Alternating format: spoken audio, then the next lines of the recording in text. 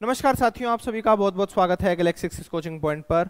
और डेली आपकी जो करंट अफेयर की लाइव क्लास होती है, उसके अंदर हम इन डिटेल जितने भी हमारे जो करंट अफेयर्स होते हैं, उसको देखते हैं।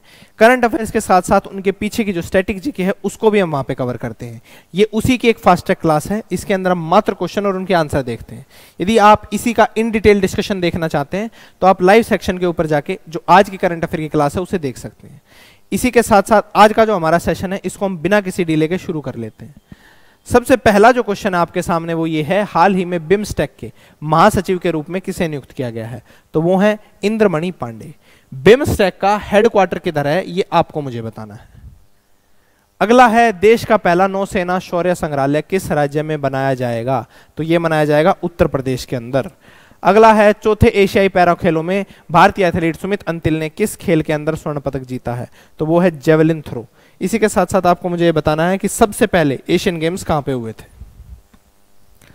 अगला है, प्रत्येक वर्ष विश्व पोलियो दिवस कब मनाया जाता है? तो ये मनाया जाता है कब? ये मनाया जाता है चौबीस अक्टूबर को। और किस लिए? क्योंकि जॉन जॉन स्टॉक, जिन्होंने पोलियो की सबसे पहली वैक्सीन बनाई थी, उसी दिन इनका बर्थडे था। तो इसी के साथ साथ आपको यह बताना है, ये तो मैंने बता दिया कि सबसे पहली वैक्सीन किसने बनाई थी। ये बताना है, सबसे पहली ओरल पोलियो की वैक्सीन किसने बनाई थी। अगला है, अंतर्राष्ट्रीय कुल्लू दशहरा उत्सव किस राज्य या केंद्र शासित प्रदेश में मनाया जाता है? तो यह मनाया जाता है आपका हिमाचल प्रदेश में। अगला है, हाल ही में अस्पताल सेवा सशस्त्र बल का महानिदेशक किसे नियुक्त किया गया है? तो वो किया गया है एयर मार्शल साधना सक्सेना नायर को।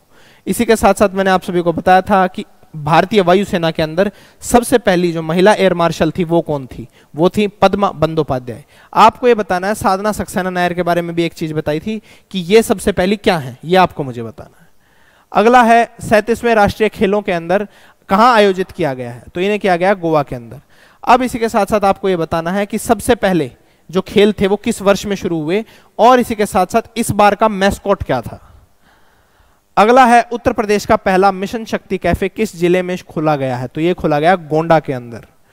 अगला है हाल ही में लेज के ब्रांड एम्बेसडर के रूप में किसे नियुक्त किया गया है? तो वो है महेंद्र सिंह धोनी। और लास्ट क्वेश्चन आपका, प्रसिद्ध चक्रवात तूफ़ान जिसका नाम है हामून, इसको किस देश के द्वारा नाम दिया गया है? तो ये दिया गया ईरान के द्वारा। और ये क्या है? इंडिया और बांग्लादेश दोनों को अफेक्ट करेगा, बंगाल की खाड़ी में बनेगा। आपको मुझे बताना है, साइक्लोन जो बिप्रजोय था, उसको नाम किसने दिया था? इसी के साथ साथ आज का जो हमारा सेशन है, इसको हम करते हैं यहीं पे एंड और यदि आप फिजिक्स और पॉलिटी की लाइव क्लासेस लेना चाहते हैं तो फिजिक्स की क्लास सुबह आठ बजे और पॉलिटी की क्लास रोज साढ़े बारह बजे होती है। आप उनको ज्वाइन कर सकते हैं। इसी के साथ साथ आज का जो हमारा सेशन है, इसको करते हैं हम यहीं एंड और अब आप सभी से मुलाकात होगी अगले लाइव सेशन में।